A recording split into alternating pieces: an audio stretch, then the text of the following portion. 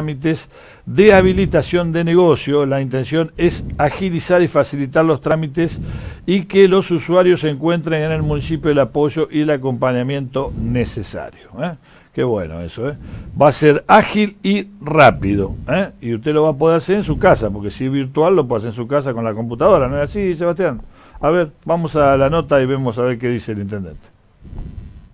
Bueno, hoy ponemos en marcha la oficina virtual para empresas, que la verdad que es el resultado de un trabajo que venimos haciendo distintas áreas del municipio hace bastante tiempo, también en consulta con el Consejo de Ciencias Económicas, con las asociaciones de calles y, y el centro comercial, que son los, van a ser los principales usuarios de este sistema, que lo que permite es que se puedan hacer todos los trámites, que son más de 30 vinculados a la habilitación de un local o de un negocio, de manera virtual, es decir, a través de Internet. Entonces, esto nos va a permitir que el trámite sea más ágil, que sea más rápido, nos va a permitir que ordenemos toda la, documentación que se solicita, incluso aprovechando documentación que ya este, los usuarios han presentado al municipio con anterioridad, van a poder utilizar la clave fiscal de AFIP para ingresar al sistema, con lo cual también simplifica mucho los trámites, nos va a ordenar mejor eh, a partir de tener el libro de actas virtual, todo el sistema de verificación y control, de manera que vayamos avanzando en lo que José planteaba, que se reduzcan los tiempos de realización de estos trámites en el municipio y que nosotros aprovechemos más el espacio de la ventanilla de empresas que tiene el municipio para hacer el asesoramiento y acompañar a las empresas de la ciudad para que crezcan. Entonces, ese es un poco el objetivo. La oficina a partir de hoy ya va a estar funcionando de esta manera, es decir, que cualquiera que tenga que hacer un trámite, sea para inscribir un comercio o para anexar un rubro, hacer un cambio de rubro o alguno de los trámites vinculados a este tema, va a poder hacerlo directamente de manera digital.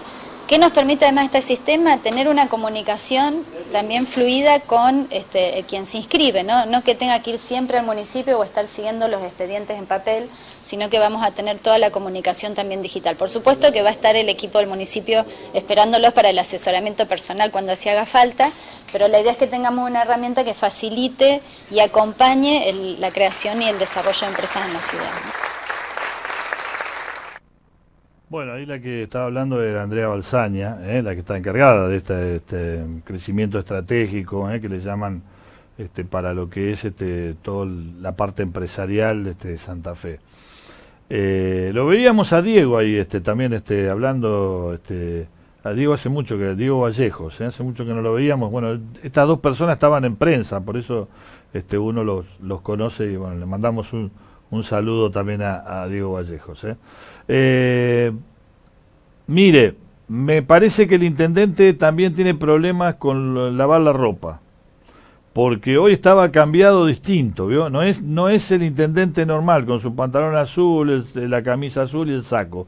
Estaba vestido de otra manera, es decir, ¿qué ha pasado? Y el intendente con tanta lluvia no pudo tampoco lavar como yo, está sin, sin lavar la ropa, este, y entonces, bueno, tenemos que recurrir a otras prendas, no a la tradicional que uno usa, vio cuando cuando está haciendo el trabajo. Así Tengo algo para eso, no sé si ahora en el próximo bloque, cómo podemos secar la ropa en días de lluvia. Vamos a darle después, después me da el, me da el tip ese, buenísimo, buenísimo. Señora, prepárese. Y se lo vamos a pasar al intendente también, porque me parece, pero estaba bien vestido ahora, ¿eh? así, así, de, me gusta que cambie el look el intendente, no, siempre lo mismo, vio siempre azul, así, hay que cambiar un poco. bueno.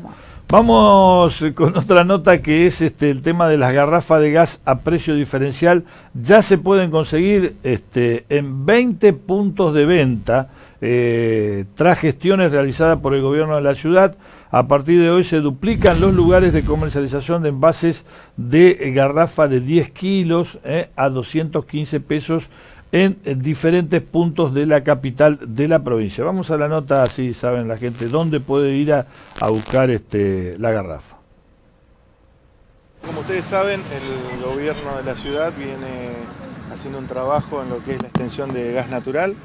La verdad que hemos hecho ampliación en varios barrios, pero hasta que esto no se dé en toda la ciudad, hemos dedicado una política a, a llevarle la garrafa accesible a los lugares que más lo necesitan. Veníamos trabajando en verano con 10 lugares y a partir de un acuerdo con las empresas proveedoras hemos duplicado la cantidad porque se viene el invierno, estamos en una situación difícil y bueno, y el gobierno de la ciudad a través de una decisión del intendente José Corral ha decidido colaborar estamos en ese sentido, como decía, acercando la garrafa, también hemos trabajado en lo que es eh, la solicitud de la reducción de la tarifa eléctrica, o sea, diversas acciones que nos permite aportar a, mejorar esa situación de crisis. Sabemos que no, hace, no, alcanza, pero bueno, es una buena medida. Y bueno, aquellos barrios que hoy no tienen gas natural, a partir de mayo van a empezar a tener servicio de venta de garrafa accesible a 215 pesos, bueno, a través de las empresas distribuidoras en la ciudad. ¿Cuáles serían los nuevos puntos eh, de distribución, estos 10 que se han sumado a los que ya existían?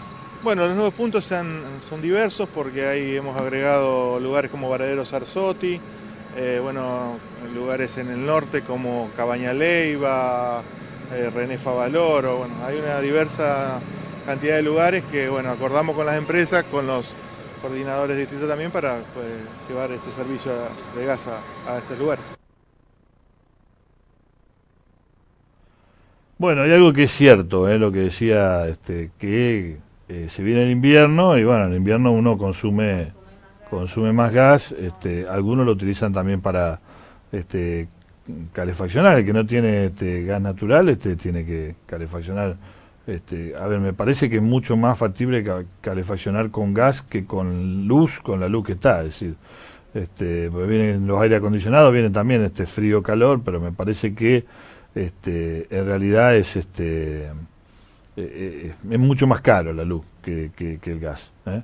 Así que bueno, buena la, la, intención y me parece bárbaro que haya en muchos más lugares, que se empiece a, viralizar en, más lugares todavía para que la gente no tenga que hacer tanto, porque a veces esa persona no tiene un, medio de, a ver, para poder llevar la garrafa, un auto o algo para poder llevarla, y tiene que ir y bueno, eh, que le quede cerca, que de última hacer 3, 4, 5 cuadras este, este, y pueda llevarla tranquilamente hasta en bicicleta a la garrafa. Bueno, eh, hacemos el cortesía.